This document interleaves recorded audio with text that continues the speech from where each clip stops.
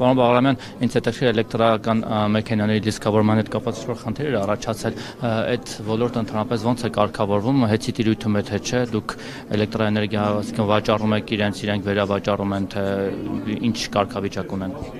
Դիսկավոր կայանները նույնիսկ էներգետիկայի մասնորոքով չեն համարվում էլեկտրոէներգիայի վերավաճառք, այսինքն ինքը փոխակերպում այդ էլեկտրոէներգիան, որտեղ էլեկտրոէներգիայի վաճառքը որպես այդպեսին լիցենզավորված գործունեություն է եւ անօրինական կլինի էլեկտրոէներգիա ցանկացած վաճառք առանց լիցենզիա անօրինական է։ Ինչ վերաբերում է ընդհանրում եմ այդ բարձրացված խնդրին, որ անջատումներ էր տեղ ունեցել այդ կայանների, խնդիրը ինչու՞մն է եղել, որ ընդհանուր համատարած բոլոր կանոններն անջատվել են, հարցը մեր մոտ բարձրացվել է, մենք ուսումնասիրել ենք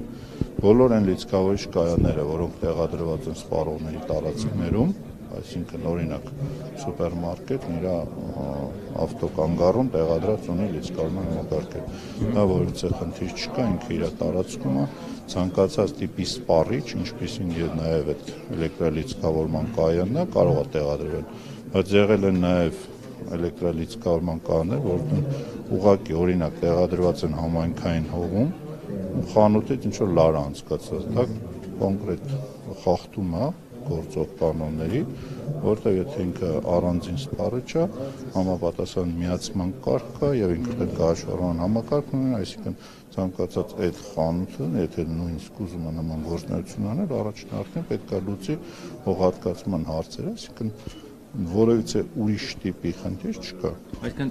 մոտարապես կարելի ասել, որ նույն սուրճի ապարատ, որ տեղադրում են այդ հողի վրա եւ տարածքը զբաղեցնում բիզնես նպատակով,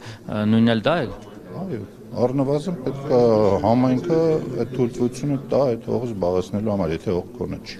Բայց դա ձեր տիրույթում է այդ խնդիրը։ տիրույթում չի, դրա համար մենք հարցադրումը բարձրացրել ենք էցի, որ դու որովհետեւ իրավական հիմք չունես անջատելու իսկավորիչ կայանները,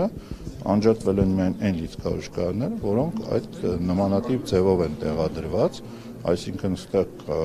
կա օրենսդրական խնդիր, որ այդ սպառողը իր էլեկտրոէներգիան սպառում է ոչ նպատակային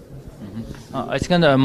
էներգետիկ առումով խնդիր չկա, եթե իր հողի վրա է համայնքային հող չի, հող հատկացումը կամ տեղի ունեցել, համայնքային հողում ունի համապատասխան թույլտվություն համայնքի կողմից այդ գործնեությամբ զբաղվելու որևիցե խնդիր չկա։ Հիմա ինչքան է 1 կիլովատ էլեկտրոէներգիա սպառողի համար շարքային սպառողը 30 քանից 40 կա, մինչև 100 մինչև 100 կիլովատ, 100-200 մոտ 50 դրամ ցած միջին թիվ ասեմ։ Այսինքն ցանկացած տնտեսվարող կարող է նույնիսկ եթե հյուրանոց օրինակ, չգիտեմ, սուպերմարկետ է, որը նաև բիզնես նպատակով կարող է 50 դրամով վերցնել, ասենք 60-ով 70-ով վաճառել